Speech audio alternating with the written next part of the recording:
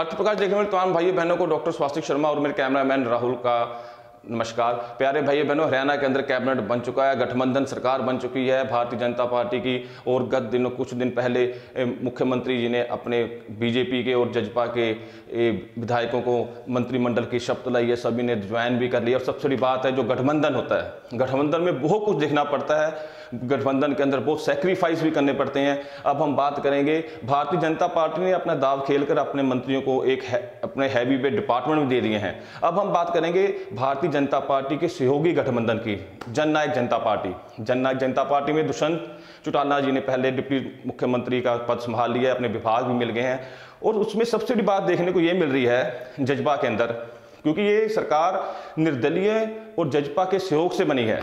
जहाँ पर इस मंत्रिमंडल में निर्दलियों को भी संतुष्ट करने की पूरी कोशिश की गई है। और अब हम बात करते हैं जननायक जनता पार्टी की। जननायक जनता पार्टी का सिर्फ़ एक ही एमएलए बना है मंत्री अनूप धानक जी, जिन जो राज्य मंत्री बने हैं।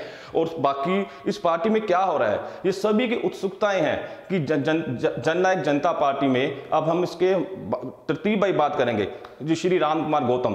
राम कुमार गौतम, जो जननायक जनता पार्टी के दुष्यंत चौटाला के बाद सबसे कदवार नेता हैं तो ये जीते थे नारनौल से। और नारनौल से भारतीय जनता पार्टी के दिग्गज लीडर अभिमन्यु को हराकर इन्होंने विधानसभा में प्रवेश हासिल किया। ये समझ नहीं आया कि एन वक्त के अंदर ये क्या हो गया पार्टी के अंदर। जब सारी बातें फाइनल हो गई थी कॉन्सेप्ट क्लियर हो गए थे कि राम कुमार गौतम जी को मंत्रिमंडल में स्थान दिया जाएगा। लेकिन एन वक्त पर उनका नाम इस मंत्रिमंडल में नहीं था। ये बहुत बड़ी बात है। ये ये क्या हुआ, क्यों हुआ, ये हमें पता नहीं है। अब हम, हमारे सूत्र ये बताएँगे कि ये कैसे हो गया ये। सूत्रों ने बताया हमें जैसे। अब हम बात करते हैं ईश्वर सिंह जी। ईश्वर सिंह जी भी बहुत दिग्गज लीडर हैं। उनको भी स्थान नहीं दिया गया। और है चौथी बात है, देवेंद्र बबली। यहाँ पर देखना पड़ेगा, कुछ जगह पर जजपा और भारतीय जनता पार्टी के बीच में जहाँ पर हमें लगता कि इस तालमेल की कमी दिखाई दे रही है। उसमें यह लग रहा है कि जो देवेंद्र बबली हैं, वो टहाना से उन्होंने हराया श्री सुभाष बराला प्रदेश अध्यक्ष को। और यहाँ पर भी सबसे बड़ी बात है कि सबसे बड़ी चुनौती भारतीय जनता पार्टी के लिए भी है, जजपा के लिए कि अगर इनको मंत्री बनाया जाता तो कैसे एडजस्टमेंट होगा?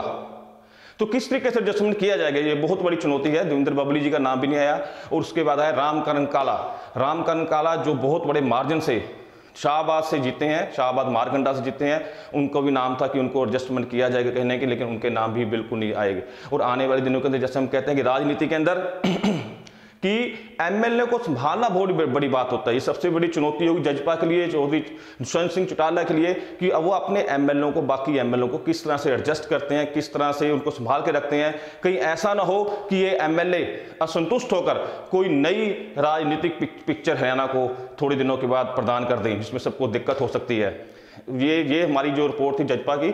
और जजपा के लिए एक बात और भी कहना चाहते हैं कि भारतीय जनता पार्टी ने अपना पूरा काम कर दिया है, उनको विभाग दे दिए हैं। अब ये जजपा के अंदर देखना, जजपा अपने एमएलए को किस तरह से संभाल के रखती है, किस तरह से आने वाले दिनों के अंदर उनको मंत्रिमंडल में स्थान दिला सकती है। तो ये बहुत बड़ी बातें हैं, ये मेरी रिपोर्ट थी डॉक्टर स्वास्थ्य शर्मा और मेरे कैमरामैन राहुल की हरियाणा की। ताज़ा अपडेट्स के लिए अर्थ प्रकाश टीवी को सब्सक्राइब करें और बेल आइकन को प्रेस करें।